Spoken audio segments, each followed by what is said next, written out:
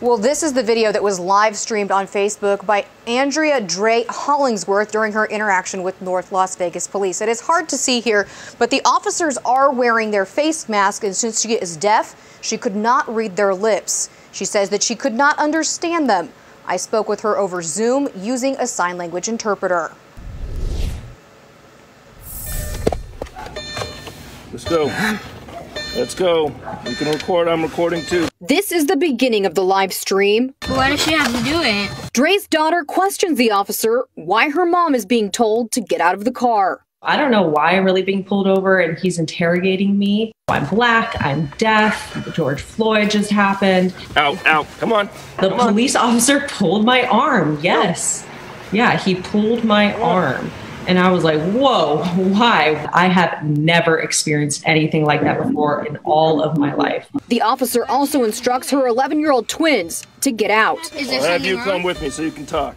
Dre says it only got worse as she couldn't communicate with the officer. I'm saying, look at this. Like, we need a text, we need a write. And he just kept on talking and talking and talking. Have her sit down on the curb.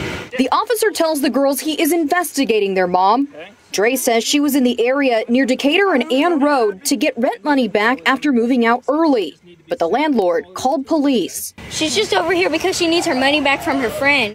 The officer pushes her to sit down on the curb. Sit down. Sit down. Down. Sit. Sit down.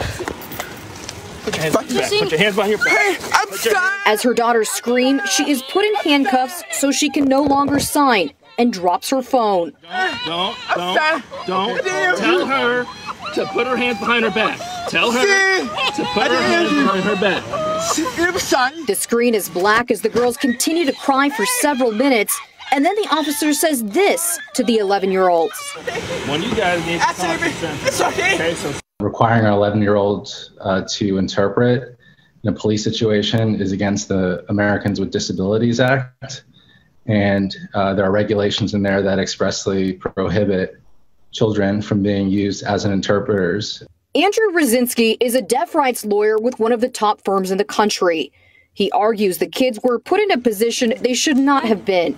Many police departments have 24 hour interpreter service for multiple languages, including sign language. There are uh, services out there, such as video relay services, in which someone could pull up an interpreter on their iPhone or iPad I never thought that this would happen to me because I'm not I'm not a criminal. Dre says her daughters were traumatized. My kids are afraid because of all of the incidents that have been happening recently and you know they're raised black in this community so when they see a police officer they're also on high alert. Now she is demanding change. Come on. So what happened to her will not happen to anyone else. I really want all of Las Vegas police to change with their how they learn and how they deal with deaf people because it is really scary how deaf people are treated. If my kids weren't with me, then I would have died that day.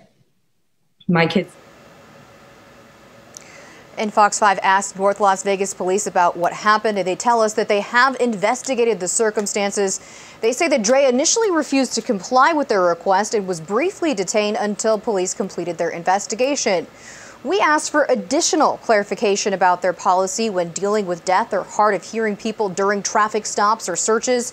They sent their entire 198 page department policy manual and this statement.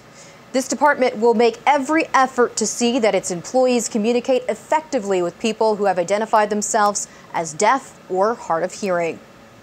We're live at the update desk tonight. Kim Passoff, Fox 5 News, local, Las Vegas.